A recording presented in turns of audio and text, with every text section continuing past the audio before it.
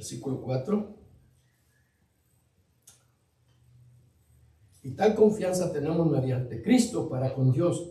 No que seamos competentes por nosotros mismos para pensar algo como de nosotros mismos, sino que nuestra competencia proviene de Dios, el cual asimismo nos hizo ministros competentes de un nuevo pacto, no de la letra, sino del espíritu, porque la letra mata, más el espíritu vivifica.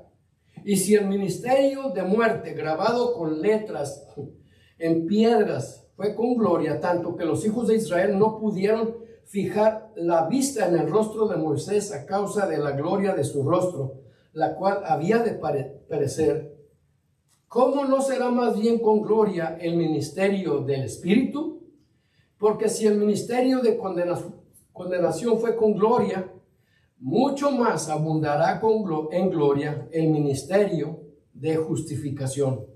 Porque aún lo que fue glorioso no es glorioso en este respecto, en comparación con la gloria más eminente. Porque si lo que perece tuvo gloria, mucho más glorioso será lo que permanece.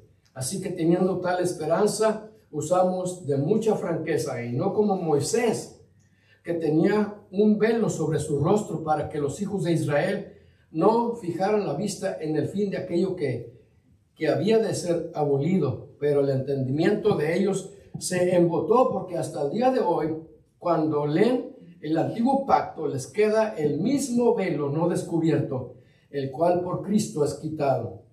Y aún hasta el día de hoy, cuando se lea a Moisés, el velo está puesto sobre el corazón de ellos. Pero cuando se conviertan al Señor, el velo se quitará. Porque el Señor es el Espíritu y donde está el Espíritu del Señor, allí hay libertad. Por tanto, nosotros todos, mirando a cara descubierta como en un espejo la gloria del Señor, somos transformados de gloria en gloria en la misma imagen como por el Espíritu del Señor. Vamos a orar. Padre, gracias por tu palabra y te ruego, Señor, que me uses y que uses tu palabra y que, eh, Señor, ilumines nuestro entendimiento, Espíritu Santo, y hables a nuestros corazones en el nombre de Cristo Jesús, te lo suplicamos. Amén. Ahora, este, en el versículo 18 habla de lo que, que es acerca de nuestro título. Y, pero antes de entrar en este, en este versículo, vamos a ver allí, en el capítulo 4, y vamos a leer 1 al, al 7. Corintios 4. Sí. Primera, segunda Corintios capítulo 4, versículo, ¿qué dije? Uno, a ver, para leer, leer eh, desde el, desde el 3. Um, Dice, pero si nuestro evangelio está aún encubierto, entre los que se pierden está encubierto en los cuales el Dios de este siglo cegó el entendimiento de los incrédulos para que no les resplandezca la luz del Evangelio de la gloria de Cristo, el cual es la imagen de Dios. Porque no nos predicamos a, a nosotros mismos, sino a Jesucristo como Señor y a nosotros como vuestros siervos por amor a Jesús. Porque Dios que mandó que de las tinieblas resplandeciese la luz, es el que resplandeció en nuestros corazones para iluminación del conocimiento de la gloria de Dios en la faz de Jesucristo. Entonces, es bien interesante esto. Es bien interesante. Cuando una persona eh, este, viene a Cristo y, y se decide arreglar cuentas con el Señor, entonces, lo que pasa en el corazón de la persona que acepta a Cristo Y, es algo bien increíble porque, porque hay un gozo, hay una alegría por aceptar a Cristo. Y un regocijo tremendo. Este, y, se, gozan eh, este, tremendamente así. Bueno, ¿es por qué? Es lo que dice el versículo 6. Porque Dios que mandó que de las tinieblas resplandeciese la luz, Dios mandó que resplandeciese la luz, amén. Dios hizo la luz, nomás dijo, sea la luz, y fue la luz. Y en el momento que una persona acepta a Cristo, entonces Dios hace lo mismo. Dios dice, lo hago mi, mi hijo, lo hago mi, mi nueva criatura. Le, este, le doy una esperanza para toda la eternidad por la fe. Pero hay algo tremendo. Es que este, la, gente que no ha aceptado a Cristo, yo, yo no sé a ustedes, este, eh, qué tan impresionados se han quedado cuando están frente a las personas y, le están testificando y responden, y responden, no, por mi buen comportamiento me voy al cielo. No, yo, yo me considero que, que, soy buena persona. Entonces yo pienso que por mi buena actitud. Y, eso, ¿de qué habla? No habla más que de una ceguera espiritual. Y dice la escritura aquí que el Dios de este siglo cegó el entendimiento de los incrédulos para que no les resplandezca la luz del Evangelio. Y, pero aquí es donde nosotros, nosotros necesitamos, necesitamos este, la presencia del Espíritu Santo, necesitamos el poder de Dios, pero que, que, que estemos llenos estamos llenos de, su presencia. Entonces, lo primero es, esta es la manera que una persona se convierte en nueva criatura. Dios la hace a la, imagen, a la imagen de nuestro Señor Jesucristo. La persona que acepta a Cristo este, llega a comprender, llega a tener la luz del Evangelio en su corazón y, le, causa una felicidad haber aceptado a Cristo. Entonces, eso es para comenzar. Es que Dios, Dios es el que resplandeció en nuestros corazones para iluminación del conocimiento de la gloria de Dios en la faz de Jesucristo. Si no fuera, porque es un asunto espiritual, es un asunto de Dios, es, un asunto del Espíritu Santo, no, no somos nosotros. Claro, debemos estar preparados para exponer la palabra de Dios lo más claro y, este, y ayudarles en vez de confundirlos, porque así pasa. Eh, es una tristeza, pero así pasa. Entonces, este, pero así vamos a, seguir adelante. Ahorita vamos a entender más cosas. Este, nosotros necesitamos, como les dije, necesitamos del poder de Dios, este, de su sabiduría, de su luz, de su paciencia también. Eh, este, necesitamos eh, este, de todo de nuestro Padre Celestial. Entonces, una vez que ya aceptamos a Cristo y que Dios nos reveló, nos, ah, iluminó a nuestros corazones, nos reveló la gloria de Dios. ¿Qué quiere decir? Lo más grande. Lo más grande del sacrificio de nuestro Señor Jesucristo. Como Él, sufrió, como Él nos amó, como Él este, fue hasta, hasta la cruz.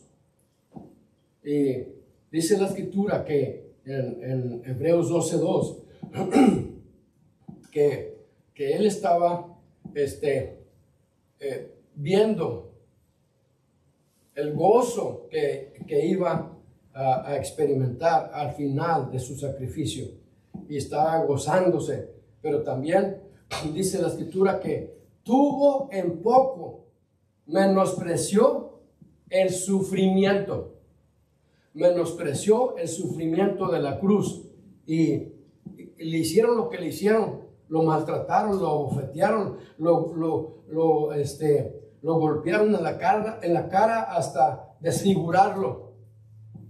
Pero Él soportó por amor a nosotros. Entonces, así comienza este, la obra de nuestro Señor Jesucristo. Pero Dios quiere que continuemos y, y, no, y no nos deja abandonados, porque Él tiene un propósito, Él tiene un plan para cada salvo para cada persona que acepta a Cristo. Por eso, este, aquí en el capítulo 3 vamos a ver que este, habla primero de Moisés. Habla primero de Moisés que estuvo, estuvo con Dios, estuvo en la presencia de Dios 40 días y 40 noches. Vamos a ver allí en Éxodo 34. Éxodo 34, 28 al 35.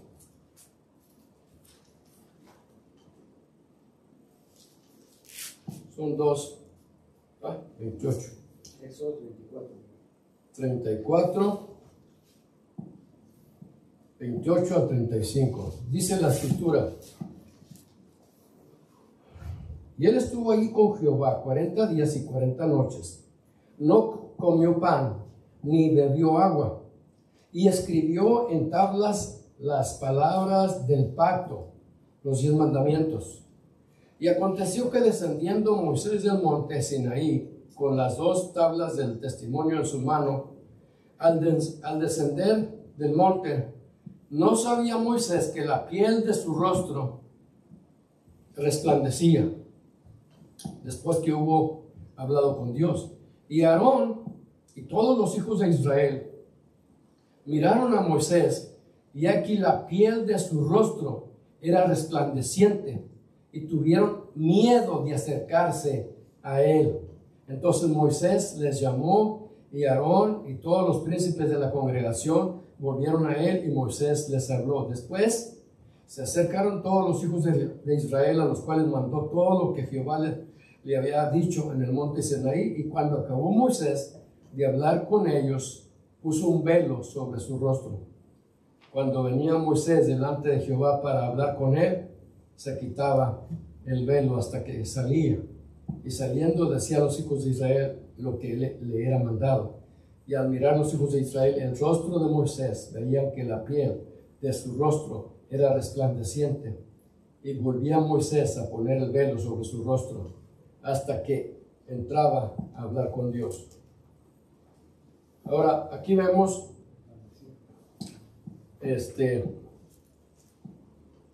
a Moisés. Y en el Antiguo Testamento, en el Antiguo Testamento, apenas este, Dios estaba comenzando a, tener una relación con el pueblo de Israel y muy pocos, muy pocos tenían fe en Dios. Llegaron a tal grado, en vez de, en vez de meditar, de recapacitar, de analizar lo que era la gloria de Dios, ellos tuvieron miedo. Este, pensaban que Dios los, los iba a matar, yo no sé, tantas cosas. Hasta Moisés dijo, yo también tengo miedo. Y, y entonces, pero lo que vemos es que Moisés estuvo en la presencia de Dios y la gloria de Jehová se, se, este, se puso en el rostro de, Moisés. La gloria de Jehová. Y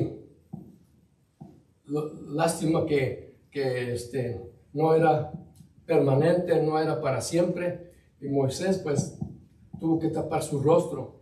Pero aún todo eso, el rostro de Moisés resplandeció por la gloria de Dios. Y, pero esa es la situación de los que no han aceptado a Cristo y no quieren, no pueden, no pueden este, discernir la gloria de Dios y, la presencia de Dios eh, y, cómo Dios manifestó su poder. Eh, realmente no le ponen atención. Fue lo que pasó. Fue lo que pasó con el pueblo de Israel. No pusieron atención a la, a la gloria de Dios en el rostro resplandeciente de Moisés. No pusieron atención. Siguieron como, como cualquier cosa. Pero es una tristeza porque este, muchos de ellos no confiaron en Dios, en el Señor Jesucristo, y, se fueron al infierno. Entonces, este, vamos a ver Romanos 8, 29, un versículo aquí.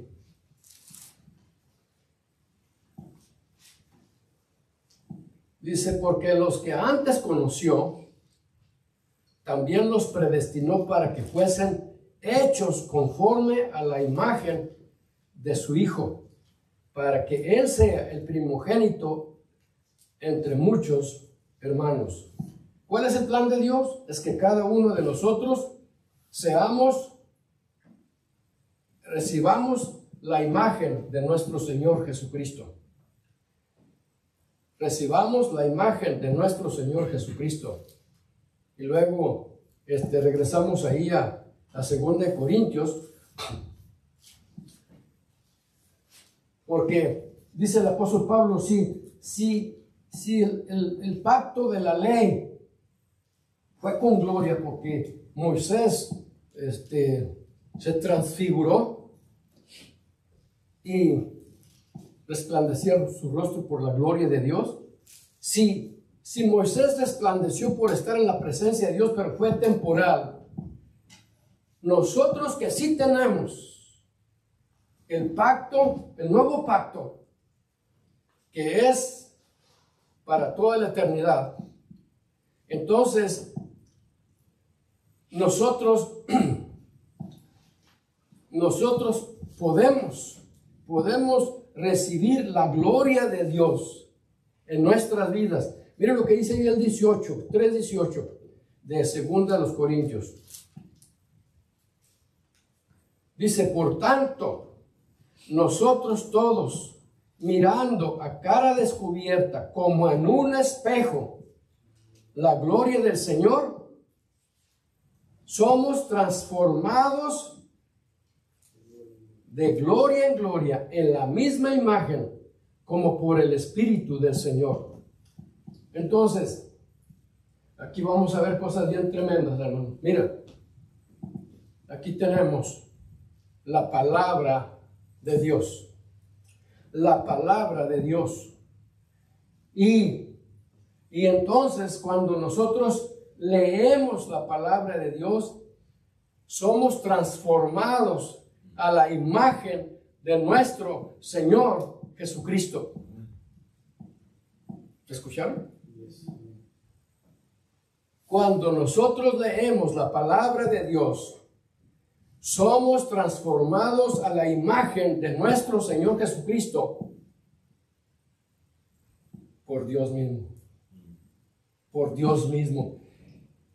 Uh, cuánto, cuánto me da este, felicidad y alegría. Y, ver esto es, es la respuesta que cada uno necesita para para ser impulsado, motivado, este, para, para tener todo lo que necesita. Y Dios lo va a usar. Dios lo va a usar. Porque en primer lugar dice la escritura, la palabra de Dios es que viva y eficaz. Y más cortante que toda espada de dos filos. Y penetra hasta partir el alma, las coyunturas y discierne las intenciones y los pensamientos del corazón. La palabra de Dios es que viva y eficaz. Entonces, pero, ¿sabe cómo sucede? Contemplando la gloria de Dios en su palabra. ¡Wow!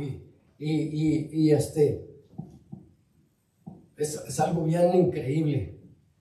Es algo bien increíble porque Dios cumple lo que Él dice. Y cada vez que uno lee su palabra, uno se va a dar cuenta, se va a dar cuenta dónde está reflejada la gloria de Dios.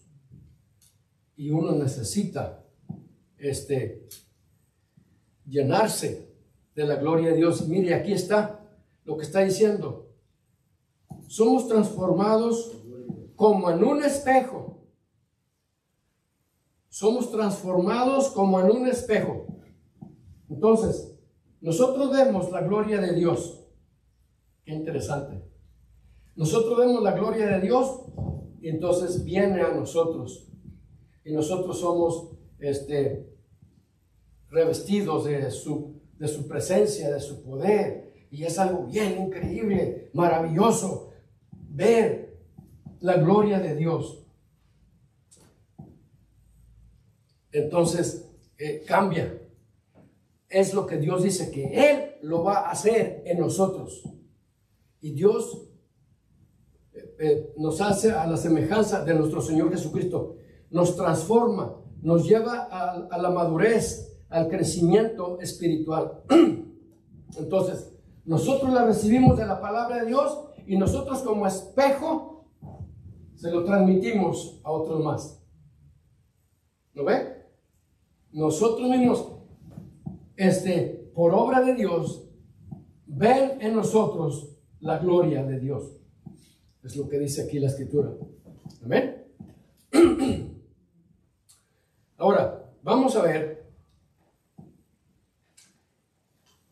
Este, 2 Corintios capítulo 4, ahí, 3 y 4, dice, pero si nuestro evangelio está aún encubierto entre los que se pierden, está encubierto, en los cuales el Dios de este siglo cegó el entendimiento de los incrédulos, para que no les resplandezca la luz del evangelio de la gloria de Cristo, el cual es la imagen de Dios. Entonces los, los perdidos, si están perdidos es porque, es porque ¿qué? Porque no han leído la Biblia. Muchos de ellos la han leído y no son salvos. Ayer, antier, hablamos con alguien que ya había escuchado, pero no había aceptado a Cristo. Y qué bendición es guiar a alguien a los pies de Cristo. Es lo más maravilloso. Y gracias a Dios por eso. Entonces, eh, cuando aceptan a Cristo, la gloria de Dios en la faz de Jesucristo, qué bendición ver a nuestro Señor Jesucristo sacrificado por nosotros. Es lo más grande. Entonces, este versículo 6 Ahí dice, porque Dios que mandó que de las tinieblas resplandeciese la luz es el que resplandeció nuestros corazones, es el que resplandeció en nuestros corazones para iluminación del conocimiento, para iluminación del conocimiento de qué? De la gloria de Dios en la faz de Jesucristo. Este es bien maravilloso porque así comienza.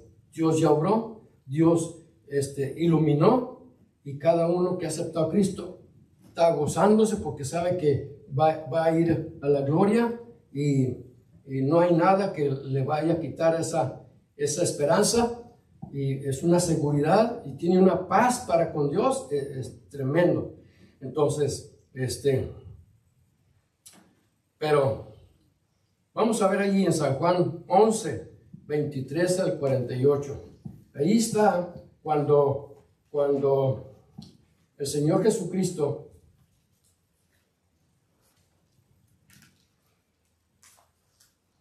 San Juan 11, 23. San Juan 11, 23 al 48.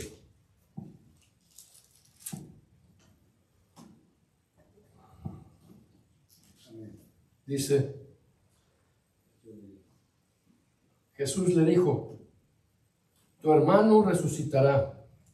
Marta le dijo, yo sé que resucitará en la resurrección en el día postrero. Le dijo Jesús, yo soy la resurrección y la vida. El que cree en mí, aunque esté muerto, vivirá. Y todo aquel que vive y cree en mí, no morirá eternamente. ¿Crees esto?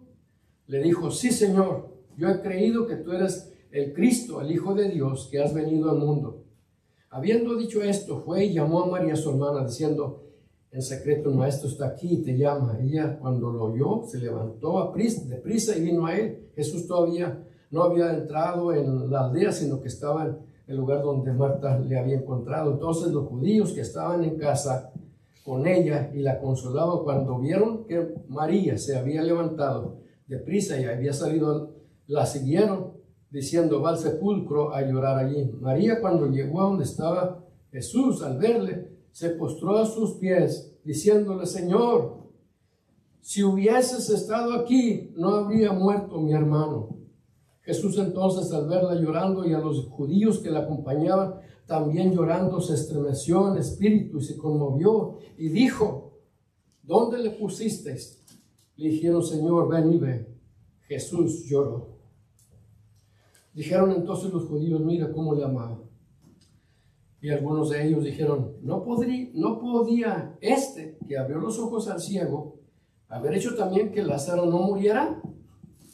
Jesús profundamente conmovido otra vez vino al sepulcro, era una cueva y tenía una piedra puesta encima. Dijo Jesús, quitad la piedra. Marta, la hermana del que había muerto, le, le dijo, ¿qué le dijo? Todos juntos, Señor, hiede ya, porque es de cuatro días. ¿Qué le dijo el Señor? Jesús le dijo, no te he dicho que si crees, verás que la gloria de Dios. No te he dicho que si crees, verás la gloria de Dios. Entonces quitaron la piedra. Ahora, ¿cómo estaba el muerto? ¿Ya ¿Cuántos días tenía muerto? Cuatro días. ¿Y qué dijo eh, Marta? ¿Qué dijo? Señor, huele feo, Señor. Le dijo el Señor, ¿no te he dicho que si creyeres verás la gloria de Dios? Y María sí creía en el Señor.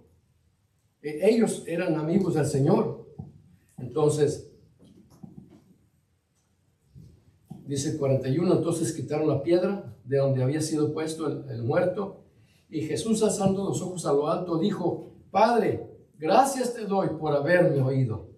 Yo sabía que siempre me oyes, pero lo dije por causa de la multitud que está alrededor para que crean que tú me has enviado. Y habiendo dicho esto, clamó a gran voz, Lázaro, ven fuera. Y el que había muerto salió, salió atadas las manos y los pies con vendas y el rostro envuelto en un sudario. Jesús les dijo, desatadle y dejarle ir. ¿Qué estaban viendo? Una maravilla. La gloria de Dios. La gloria de Dios. Y, y eso era lo que el Señor quería. Que la gloria de Dios este, se manifestara y, y muchos la pudieran. Y, ¿Y qué pasó? Muchos creyeron. Muchos creyeron al ver eso. Y, y, cuando, y cuando ya Lázaro se reincorporó a la familia y luego hicieron una, una comida para, para el Señor. Este, ¿qué dijeron los fariseos? Necesitamos matar, necesitamos matar a- al maestro y también a, ¿a quién? A Lázaro. ¿Qué- ¿De qué hablaba esto? Que no podían ver la, la gloria de Dios. Pero es bien claro el Señor que le dijo a Marta, si crees, si crees, podrás ver la gloria de Dios. Y, y esto es lo que nosotros necesitamos, aprender a ver la gloria de Dios. Aprender a ver la gloria de Dios. Mire, vamos a ver allá. Ya me termino, me faltan como unas seis horas. Vamos a ver allá, este, segunda de Pedro 1, 15 al 21. Dice algo bien interesante. Segunda de Pedro.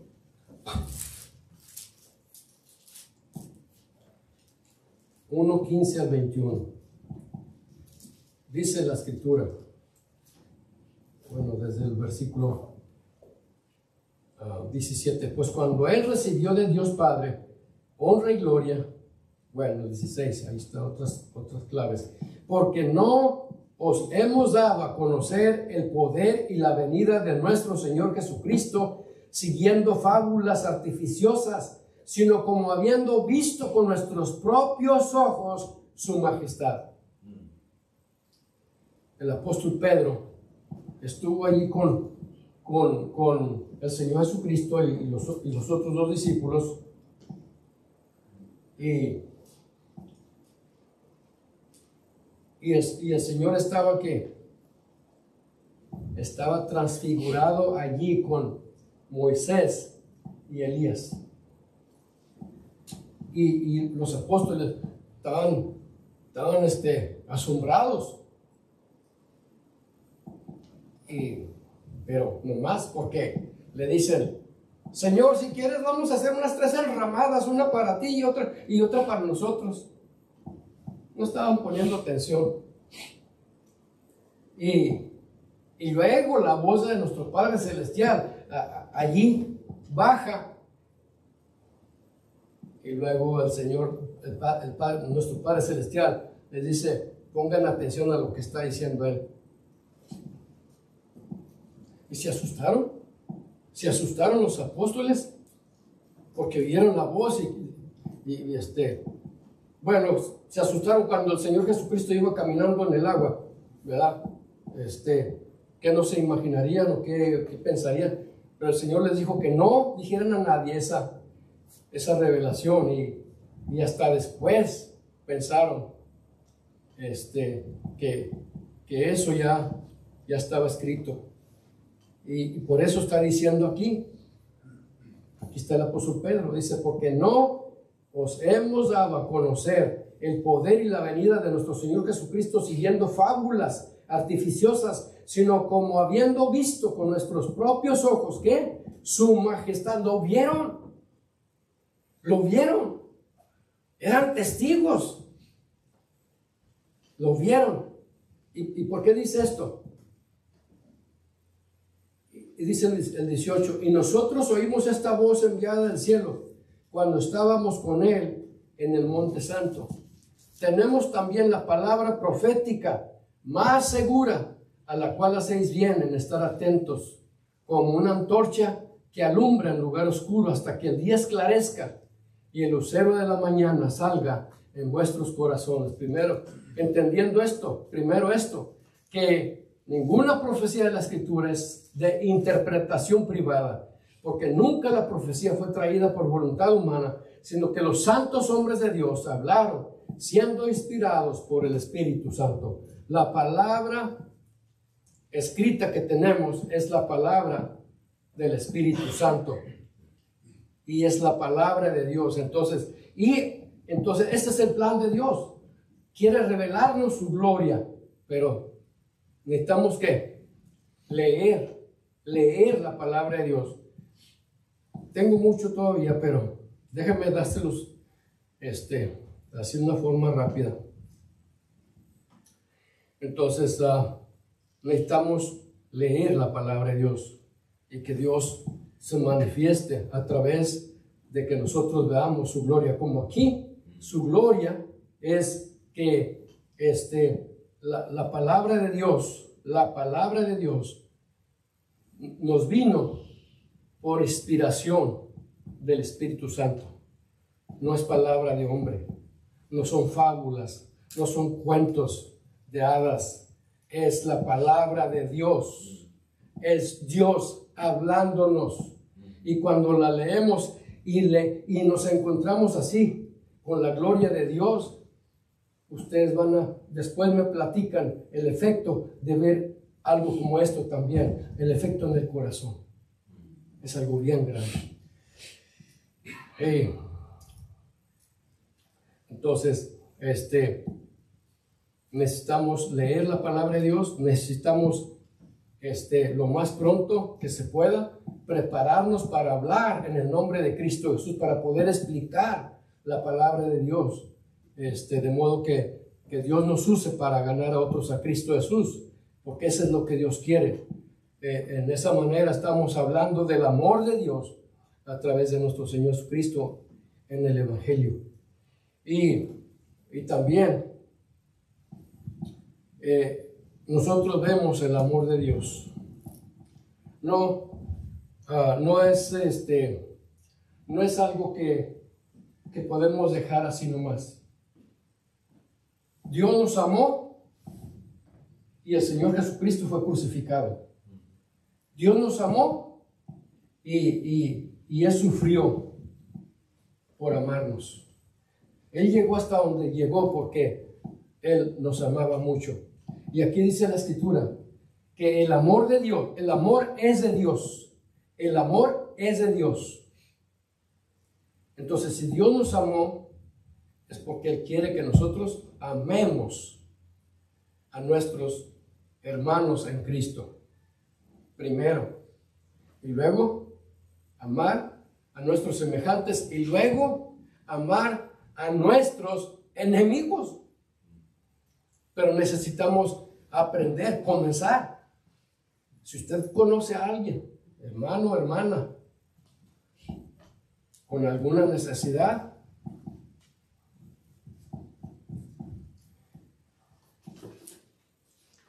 que Dios le quiebre su corazón. Que Dios le parta su corazón por aquel hermano o hermana con una necesidad. Dice allí la escritura. Que si vemos a, hermanos teniendo necesidad, le decimos, yo, yo, los bendiga, que les vaya bien, pero no les damos las cosas que necesitan. ¿Cómo podemos decir que amamos a esa gente si no, si a Dios, si a ellos que los vemos no los amamos y a Dios que no lo vemos, entonces, ¿cómo va a estar nuestra situación? ¿Cómo podemos decir a Dios que lo amamos y a la gente que, que vemos, este, no podemos hacer lo que, lo que Dios quiere?